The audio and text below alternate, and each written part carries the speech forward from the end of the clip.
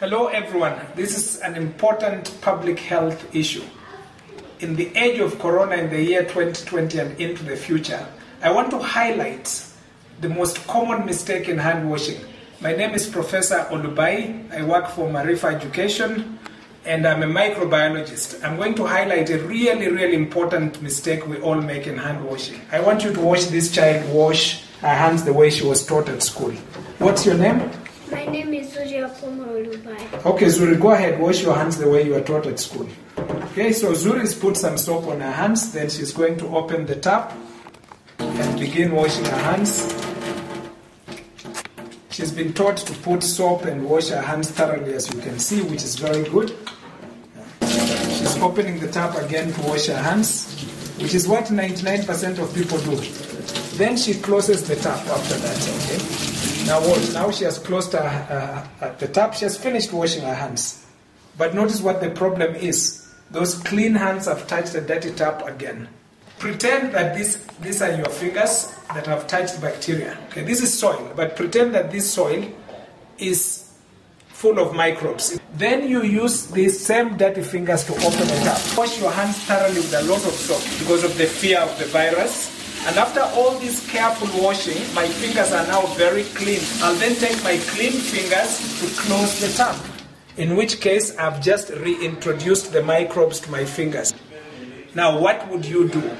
Ideally, you should open the tap using tissues. I'll get some tissues. You open the tap using tissues. Then you rinse your hands. This would be the proper way to do it. Rinse it first before you touch the soap. Then now you wash your hands thoroughly with soap. You should then not use your clean fingers to close that tap. You should use a piece of tissue from your pocket, hopefully, to close that tap. That is one thing you should do. Assuming that you have no access to tissue anywhere, this would then mean that before you close that tap, you should actually wash the tap. You should wash the tap and leave some water in your hands that for which you'll use to rinse your fingers. That way you'll have removed most of the microbes on your fingers. Thank you. This is a much better designed tap because you can open it without touching it with your fingers. Now watch a quick demo with soil. my fingers are now soiled. This could be microbes of any kind. I'll take my dirty fingers and use them to open the tap. In which case I've transferred the microbes to the tap. Then I'll touch the soap, in which case I've transferred the microbes to the soap. Then I pull out some soap and begin washing my hands thoroughly. And after I wash my hands for a long time with soap, if I am 99% of the people, I will then close the tap with my fingers, which means I've reintroduced the microbes on my fingers. The best way to open this kind of tap is to use your wrist like that. If you have this kind of well-designed tap, you should then close your hands using your wrist and then dry your hands with a clean towel. This is how you do it. Now watch this child wash her hands properly because she has been trained. Go ahead, Zuri.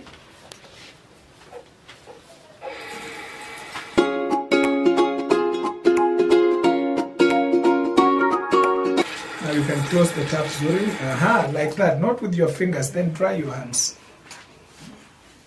Go ahead, wash your hands.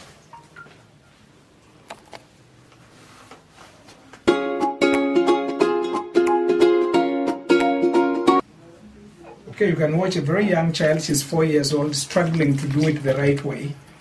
She'll make some mistakes, but that's normal. At least we, the adults, we shouldn't make this mistake. You shouldn't wash your hands and then touch a dirty tap with your hands. Okay, thank you, Jael. Good work.